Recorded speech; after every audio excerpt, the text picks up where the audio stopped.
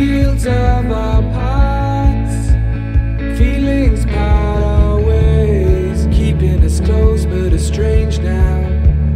Dreams holding us closer.